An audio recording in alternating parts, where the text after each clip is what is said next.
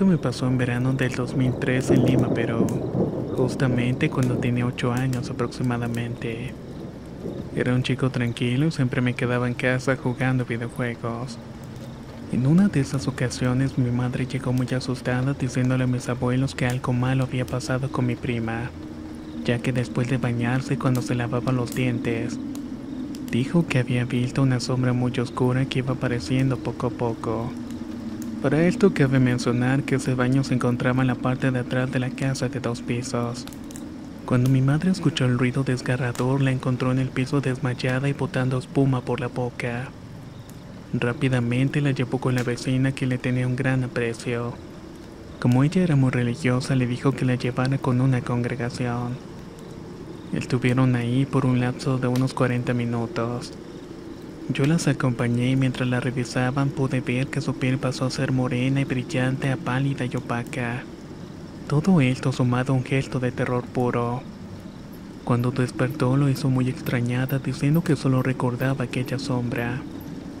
Así se fue sin antes echarse agua bendita que yo y mi abuela habíamos llevado. Todo parecía haber terminado, pero en la noche del mismo día ocurrió lo peor. Dice mi tía que cuando la fue a revisar cómo seguía la encontró con la boca abierta y mirándose el techo. Rápidamente la llevó donde nuestra vecina que esta vez estaba dispuesta a acabar con todo ese mal. Tomó su Biblia y leyendo muchos versos echó agua bendita a todos los que estábamos en la casa. Nos pidió que comenzáramos un salmo y al terminar nosotros la última oración ella dijo, Deja en paz a la joven y lárgate de ese hogar que le puso Dios a esta bella familia. Estuvo repitiendo esto una y otra vez hasta que todo quedó en una calma muy tensa. Pero afortunadamente había terminado. Luego de unos minutos mi prima despertó mucho mejor. Se encontraba más animada y era la de siempre. Botó una especie de humo negro por la boca, nariz y oídos. Mismo que se disipó cuando le echaron un poco de agua bendita. Desde ese entonces no ha vuelto a ocurrir nada parecido. Y actualmente mi prima tiene 18 años y es muy feliz.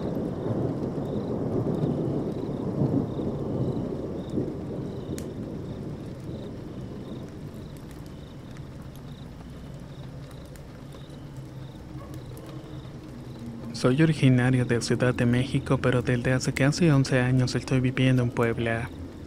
Para ser más precisos, en el fraccionamiento San José Hermosa, muy cerca de Walmart Las Ánimas. Nombre que obtiene porque según me enteré, el terreno donde se ubica antes era un cementerio.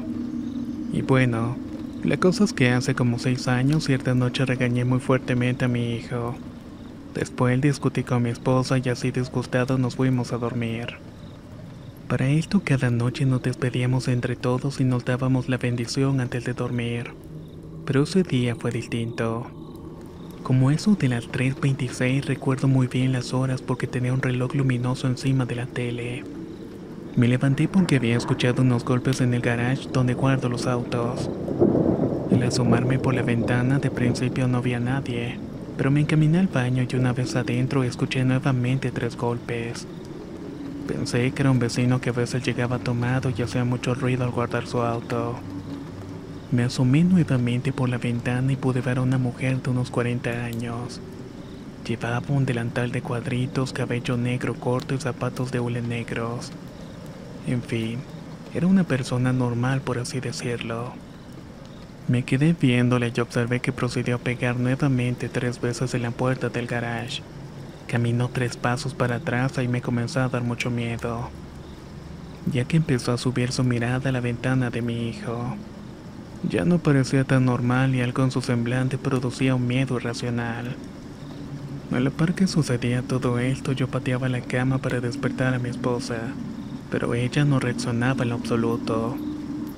Después de golpear tres veces, la señora volvió a ver a su derecha, pero no con un movimiento de cabeza fluido. Lo hizo como si fuera un robot volteando todo el torso de la parte superior del cuerpo. Posteriormente dio una última mirada a la ventana del cuarto de mi hijo. Eso lo que me pareció extrañamente perturbador. Empezó a caminar en 45 grados hacia donde se cruzan las dos calles donde vivo. Y una vez que llegó exactamente al cruce se volteó y empezó a caminar en medio de los carriles. Luego se fue perdiendo en la oscuridad de la noche. Una vez que la perdí de vista logré despertar a mi esposa la cual todavía estaba molesta. Le conté lo que acababa de suceder y se puso a rezar de inmediato. Luego me comentó que pensaba que habíamos llamado malas energías y que por eso vinieron a hacerse presentes. Todos estos eventos terminaron como eso de las 3.39 de la madrugada y años después que le contesta a una persona que se dedica a hacer limpias. Me dijo que muy probablemente era la muerte quien había visto en aquella ocasión.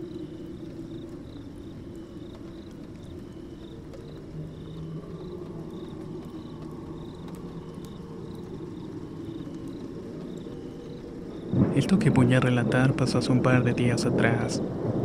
El jueves por la noche me iba a poner a lavar ropas y trastes. Para esto eran las 8 y empezó a ventear un poco.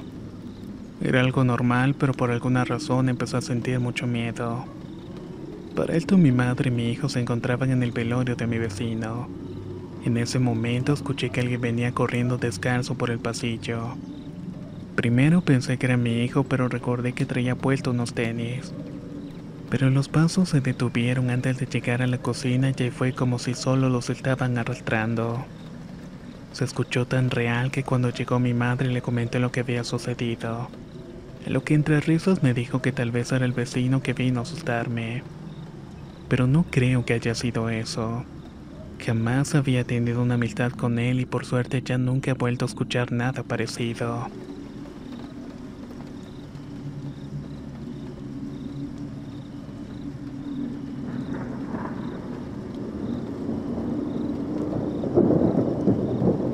Esta es una historia que le sucedió a mi papá.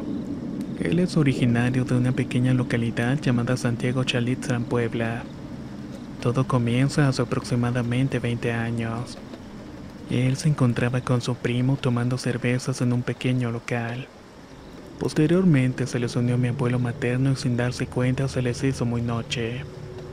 Mi abuelo se puso muy tomado y lo llevaron a su casa primero. En el camino se percataron que de frente venía una bola de borrachos gritando y echando balazos, por lo que decidieron meterse en una vereda que llevaba a la casa de mi papá, la cual era más larga pero era mucho más segura. La casa estaba cerca de unas peñas y se llegaba siguiendo el canal de agua de riego. Ya en el camino al llegar a la orilla de un caño se escuchó como si en su interior anduviera un caballo. Se pararon para ver qué era cuando de pronto vieron salir un hombre todo de negro de entre las milpas. Todos echaron a correr rumbo a las peñas. Ya cansados y a medio camino se escondieron detrás de un árbol enorme de capulín. Se preguntaban qué podría haber sido todo aquello. Y al asomarse mi padre vio que el hombre de negro venía como unos 20 metros de distancia. Les avisó, pero cuando intentaron correr las piernas no le respondían muy bien. Como pudieron llegaron a casa y mi madre les preguntó qué había pasado. Muy asustados le dijeron que alguien los venía siguiendo. Se quedaron despiertos un buen rato, pero al final el sueño los venció a los tres. Solo mi madre despierta dijo que a los minutos de haberse dormido se escucharon las pisadas de un caballo alrededor de toda la casa.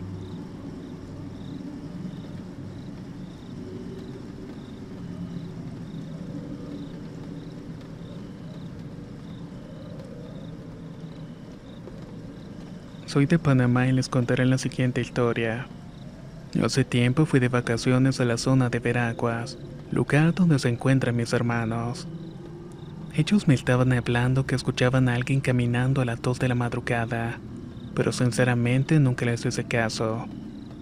Hasta les comentaba que solamente eran mentiras. Sin embargo, insistían tanto que uno de esos días me dije que quería saber si lo que escuchaban ellos era verdad. Así que me fui a acostar en la cama, pero quedándome despierto. Pasaron una, dos horas, pero no escuchaba nada. Al siguiente día volví a quedarme y a la una de la mañana escuché que alguien venía de la cocina con unos pasos muy fuertes. Luego escuché que se había sentado en la silla de la sala. Quería levantarme para ver quién era y asustarlo. Solo que antes de levantarme sentí unos pasos de nuevo, pero esta vez venían hacia la habitación. Estaba listo para tirarle mi sábana y prender la luz. Pero al verlo me paralizó el cuerpo por completo y por más que intenté hablar no podía. Estuve inmóvil por unos 10 minutos hasta que esa cosa se fue. Al día siguiente le dije a mi hermana que era cierto lo que estaban diciendo y terminó rociando agua bendita por toda la casa. Creo que está de mal decir que hasta la fecha no he vuelto a pararme en ese lugar.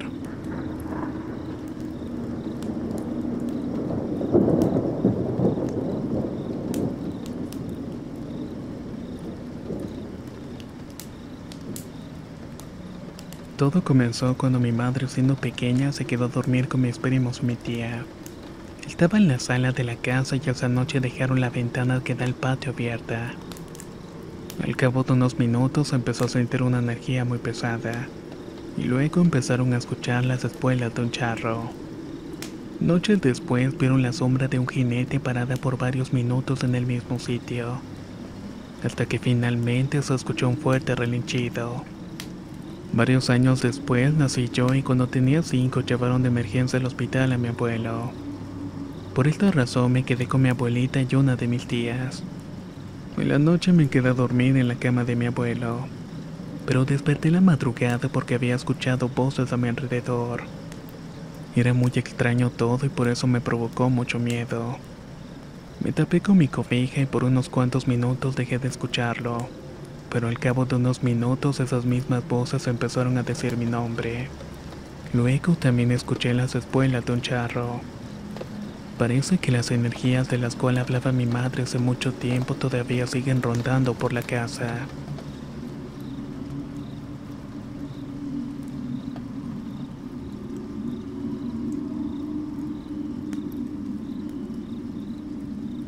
Tengo 18 años esto pasó en Toluca, Estado de México.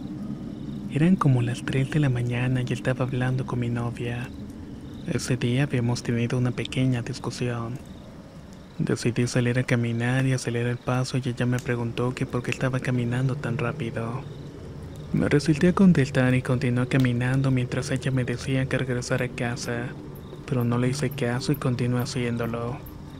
Llegando cerca de casa me encontré con un árbol que le apodaban el gigante, esto debido a su gran altura. Ahí me detuve y empecé a decir con todo respeto, si hay alguien aquí si quieres hablar, aquí estoy. Estuve ahí repitiendo la frase por varios minutos hasta que decidí volver a mi casa. En ese momento me llamó mi novia al celular insistente en que regresara. Le pregunté que por qué el afán y me dijo que estaba escuchando a una niña llorando. Pero cuando por fin llegué ya no se escuchaba nada. El otro día estábamos hablando a la misma hora.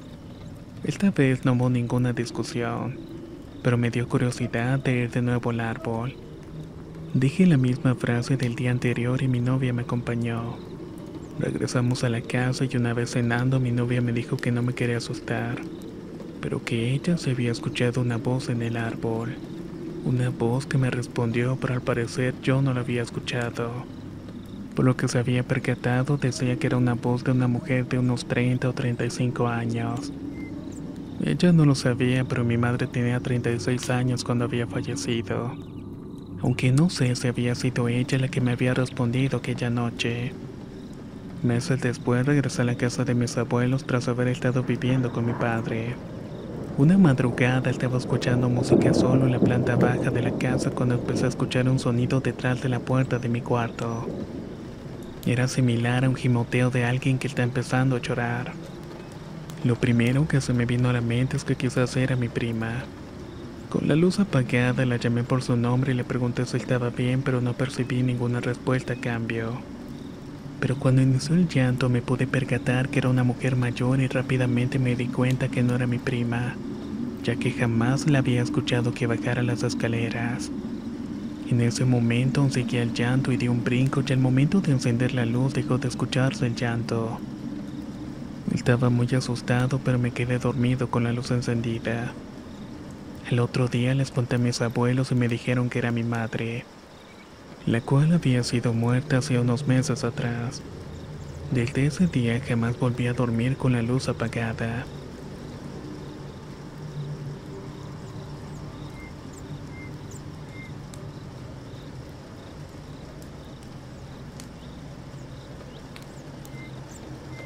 Mi historia comienza un viernes por la noche en Managua, Nicaragua.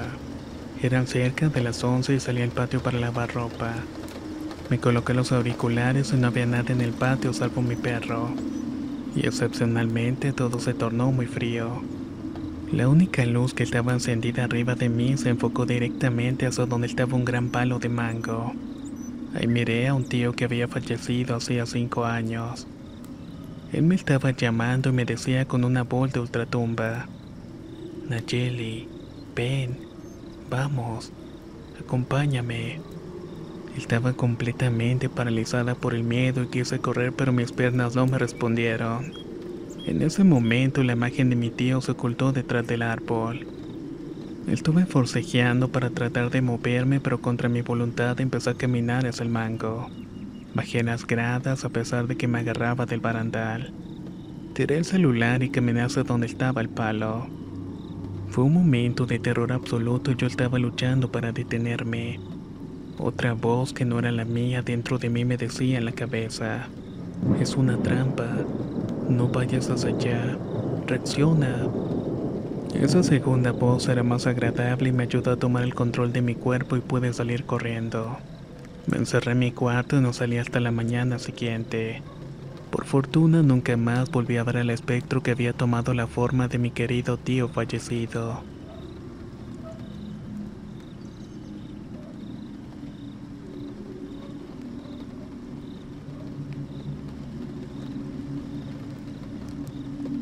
Esto me sucedió hace una semana aproximadamente. Estaba con mi novio en casa viendo una película y cuando terminó lo acompañé al portón de salida. Este portón se encontraba como unos 50 metros de la casa. Eran más o menos las 2 de la mañana y casi al llegar escuchamos el llanto de un niño que estaba llorando. Al principio solo lo escuchó él y me dijo que prestara atención. Ahí lo pude escuchar perfectamente y era atrás de la casa de mi tía la cual vive justamente al lado del portón. Le dije que me daba miedo volver sola a la casa ya que se veía oscuro, así que él se ofreció a acompañarme e irse solo. Acepté, entré a la sala y lo miré alejarse. Luego esperé hasta que dobló y cerré la puerta. Después de eso apagué las luces y me fui a dormir pero no pude. Aunque estaba muy cansada, el sueño no me llegaba y al cabo de 20 minutos escuché que caminaron de la cocina al comedor y del comedor a la cocina, lo cual me puso la piel de gallina y me recorrió un miedo intenso durante varios minutos. Para esto comparto habitación con mis sobrinos y que tengo que dormir con la luz prendida. No sé qué estaba pasando y le pedí a Dios que me ayudara.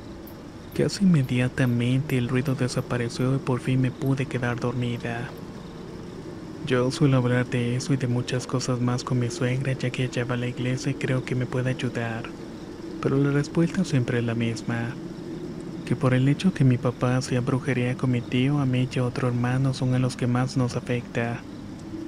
Porque según mi suegra probablemente él haya hecho un pacto para que nosotros estemos seguros y bien. Aunque yo la verdad lo dudo.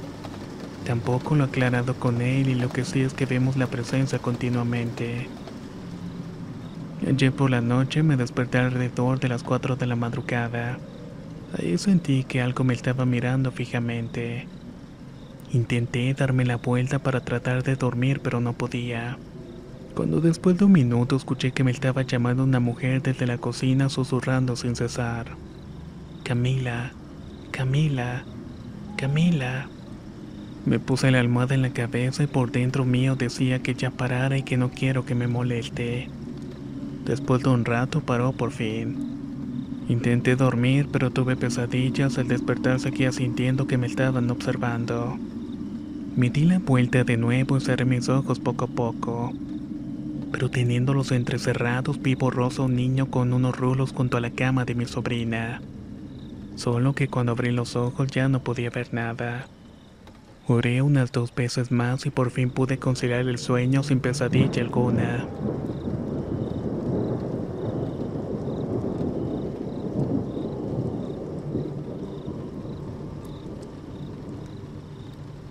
Cuando tenía 15 años, cierta ocasión me tocó cuidar a mi sobrino que tenía un año de nacido. Esa noche mis padres salieron y llegaban hasta el otro día.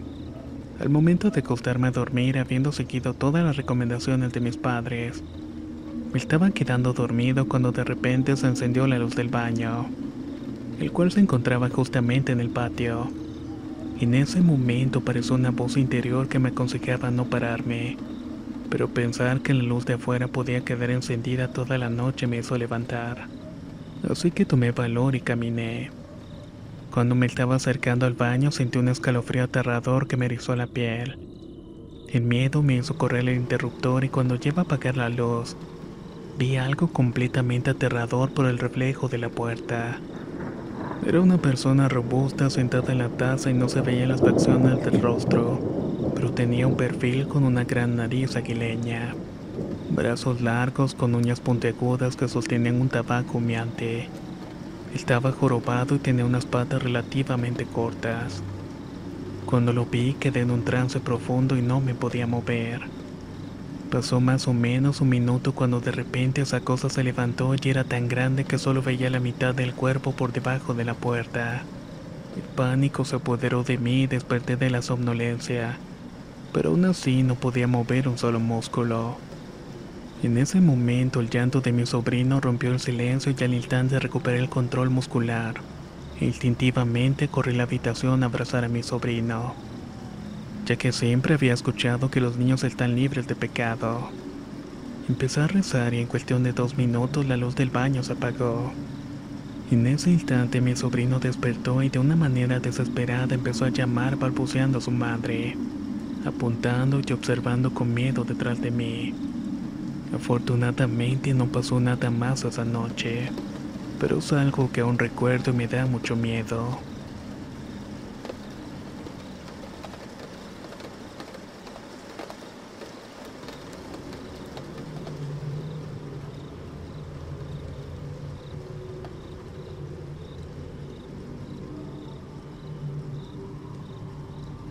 Hace cuatro años vivía en el pueblo de Santa Cruz Alcapixta. En ese lugar el baño estaba fuera de la casa. Una noche salí a esperar a mi hermana que terminara de bañarse. Yo estaba viendo el paisaje de la noche cuando de un momento a otro algo me hizo voltear a ver. Y entre el lavadero y la pared había una niña como de cuatro años que me hacía señas para que fuera a jugar con ella. Me quedé en shock y no podía creerlo. Cerraba los ojos y me decía a mí misma que eso no podía estar pasando. Probablemente estoy viendo mal, me decía. Abría mis ojos y ahí seguía la niña sonriendo y hablándome. Pasó el tiempo y otra noche como eso de las 12 estaba platicando con mi padre. De pronto empezamos a escuchar risas y que alguien estaba caminando en el techo. A lo que mi papá exclamó, son brujas. ¿Brujas? Pregunté sorprendida. Aquí hay brujas. En este pueblo hay muchas brujas. En ese momento despertamos a mi hermana y nos fuimos al cuarto donde estaba mi abuelito. Pasó algo raro ya que lo intentábamos despertar pero no pudimos, hasta que pusimos un poco de agua bendita en la frente y despertó. Un tiempo después nos fuimos de esa casa y hace poco mi padre se enteró que la dueña de esta era una bruja, que probablemente en esa casa habían enterrado a una niña con una muñeca. Y de esta manera ese ente protegía aquella casa.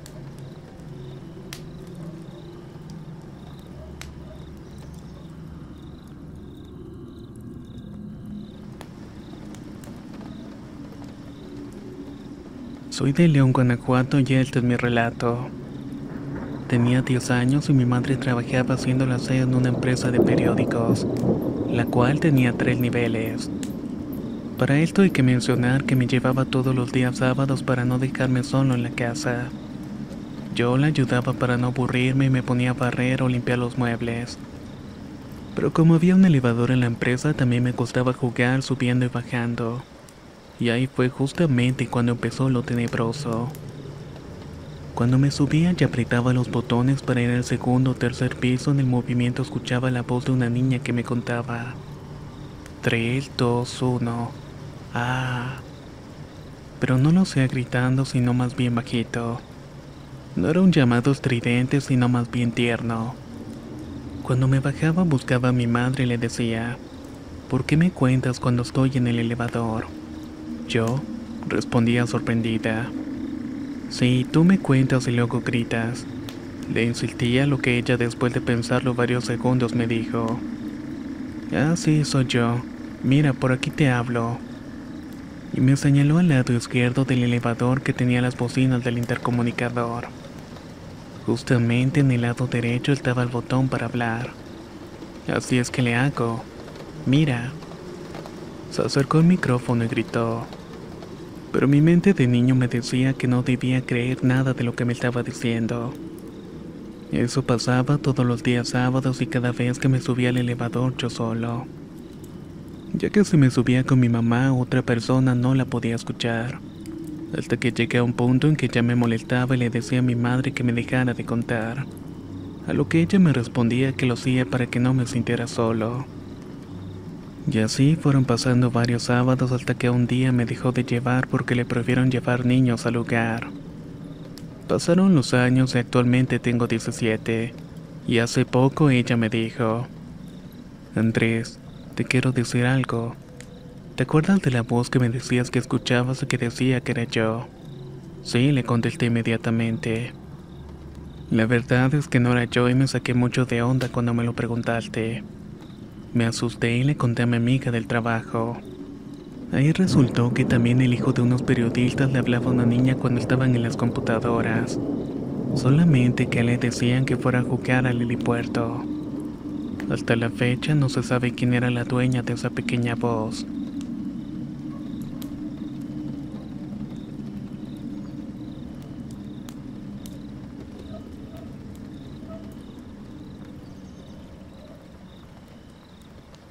Esta es una pequeña experiencia que tuve cuando era niña como los 8 años. En ese entonces era muy mal criada con mi madre y me decía que algo se me iba a aparecer. Para esto teníamos un cuarto separado con cortinas. Mi papá siempre se escondía para jugar conmigo y asustarme. El caso es que me encontraba con mi madre en la cocina y cuando iba para mi cuarto me pareció ver a mi padre en la puerta de afuera sentado. Se encontraba recargado en la pared, fumando y a cada calada le brillaban los ojos de un color rojo. Yo le hablé, pero no me respondió y me iba a despedir de él, pero unos pasos antes de alcanzarlo, sentí un miedo profundo que me hizo salir corriendo con mi mamá. Ya más tranquila, después de un rato escuché que mi padre salía recién a fumar un cigarrillo. Esto me dio mucho miedo, pero cuando le conté a mi madre no me creyó en absoluto.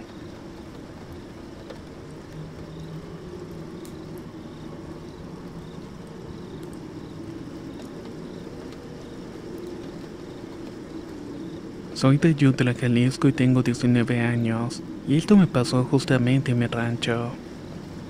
Resulta que era tiempo de mayo de ir a los venados a una charca cerca del lugar. Le pedí permiso a mi papá y me prestó la retrocarga.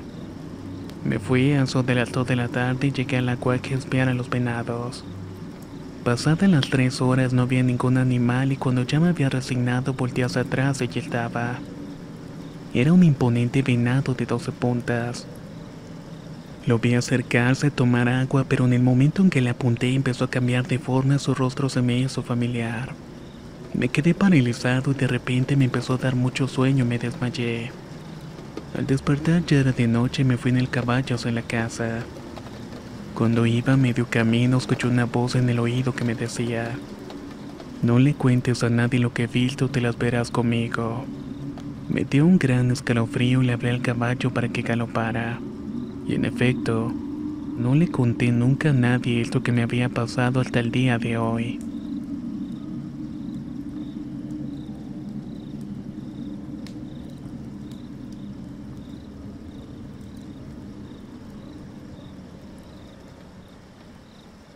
Resido en Negarote, Nicaragua y actualmente tengo 18 años. Hace tres vivía en el Valle de Jesús en un lugar árido con las casas muy separadas y las calles llenas de nubes de polvo. Como mencioné, es un lugar árido y casi no llueve. Ahí vivía con mi madre, mi padre y mis cuatro hermanos. Todos trabajaban en Managua, así que me quedaba sola la mayoría del tiempo. Me tocaba hacer los quehaceres de la casa en la mañana y estudiar por la tarde. Un día de tanto salimos de clases y a eso de las 5 venía bromeando con mis compañeras de las casas aledañas. Pero nos asustamos porque ya eran cerca de las 5.30 y estaba oscureciendo. Por esta razón teníamos que caminar lo más rápido posible. A medio camino una de mis amigas me dijo que se sentía mareada. Nos detuvimos un momento a descansar a que se le pasara. De pronto observamos que detrás de nosotros venía una anciana con un costal que se veía muy pesado. Yo me ofrecí a ayudarle, pero con un grito me contestó que no. Lo más extraño es que justamente al abrir la boca sentí un olor como de animal muerto y me alejé de ella. Mis amigas comenzaron a ofenderla por cómo me había contestado, pero ella simplemente continuó su camino. Luego de varios minutos seguimos nuestro rumbo, ya eran cerca de las 6.15. Estaba completamente oscuro cuando comenzamos a escuchar como si alguien viniera corriendo detrás de nosotros. Nos asustamos y corrimos, pero solamente una cuadra porque vimos a la anciana tirada en el suelo. Nos adelantamos a ver qué le había pasado, pero en eso se levantó. Luego comenzó a reír y a hablar en una lengua extraña, algo que no lográbamos entender pero de alguna manera sentíamos que estaba maldiciendo. Comenzamos a correr hasta llegar a nuestras casas y después de eso fueron semanas completas en que todas faltamos a clases. Teníamos vómitos, mareos y constantemente se nos repetían los sueños lo que habíamos pasado. Aunque tiempo después no volvimos a ver al anciano soñar con todo eso.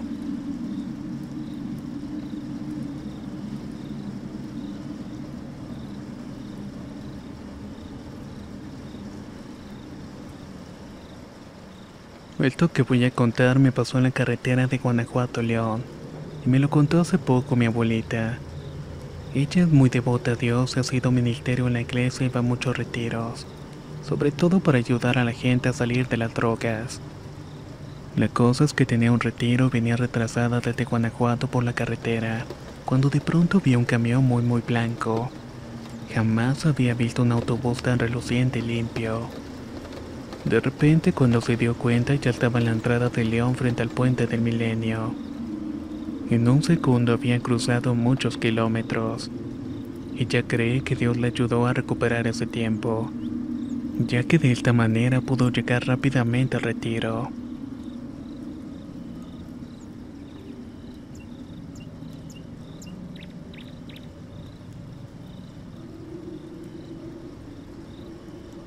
Esto le pasó a un amigo en mi pueblo de Chancayen, pero él trabajaba en una fábrica pesquera y en sus días libres le gustaba ir a pescar en las noches.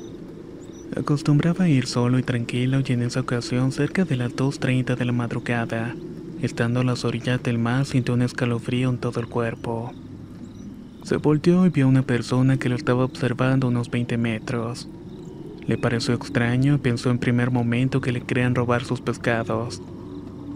Luego le gritó preguntando qué era lo que quería, pero no le respondió. Estuvo mirando bien a la persona y se dio cuenta que estaba flotando en el aire. Ahí le entró un miedo profundo al observar que esa persona se le iba acercando poco a poco. Del miedo se metió al mar y para su suerte el fantasma parecía detenerse en la orilla del oleaje. Con el agua hasta el cuello mi amigo empezó a orar y el agua a su alrededor se ponía sumamente fría. Dice que quiso salir del agua, pero el ente flotante se le acercaba cada vez más. Así que mejor se volvía a meter al frío del mar. Así estuvo batallando de esta manera casi hasta las 5.30 de la madrugada. Cuando estaba a punto de morir por el frío y el cansancio, escuchó el relinchido de un caballo. Era su amigo que venía a comprarle los peces. Al mismo instante que lo escuchó, asomó el primer rayo del sol y el fantasma había desaparecido. Los mayores dicen que las personas que mueren ahogadas en el mar tratan de llevarte igual que ellos, y que te espantan para que te mueras ahogado. Sin embargo, guardan el temor al agua, y por eso sus fantasmas nunca pueden flotar mar adentro.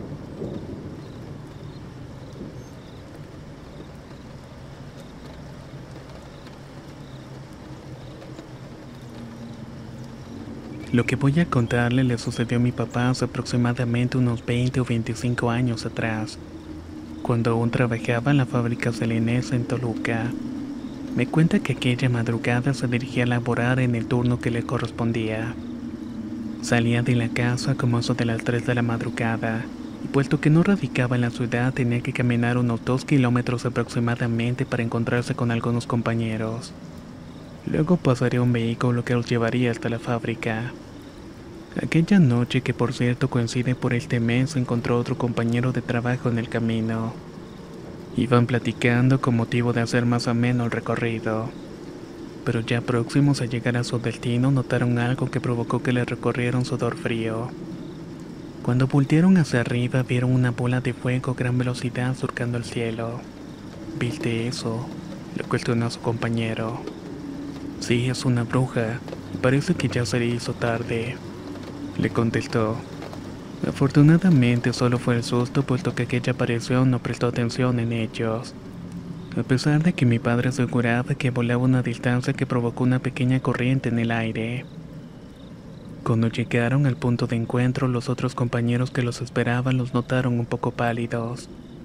De inmediato le preguntaron que por qué estaban así.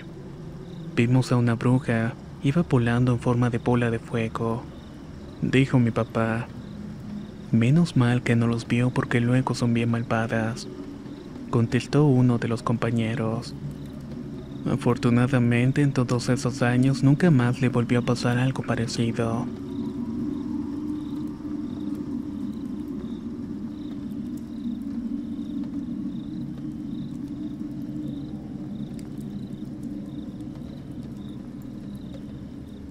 Esto pasó hace seis años en Reynosa, Tamaulipas.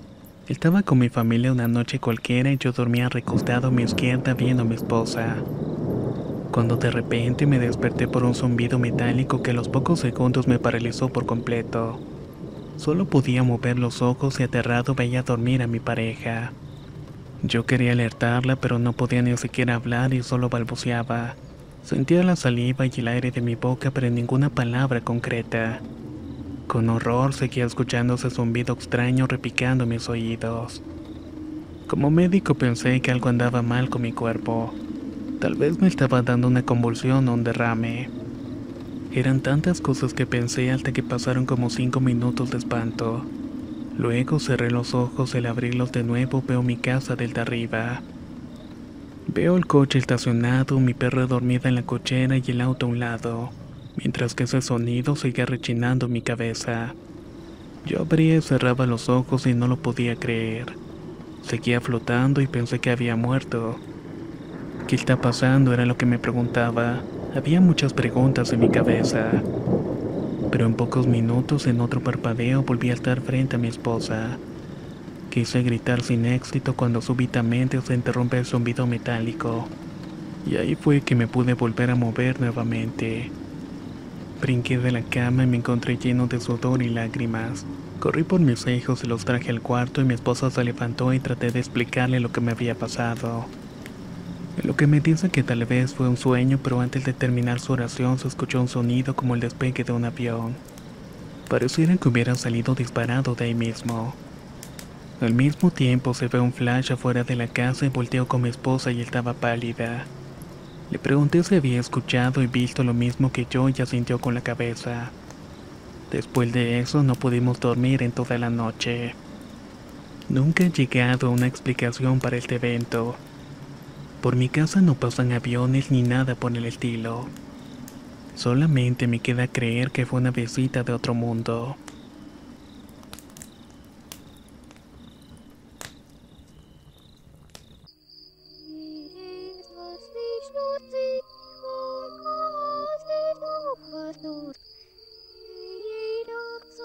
как в глаз мы видели.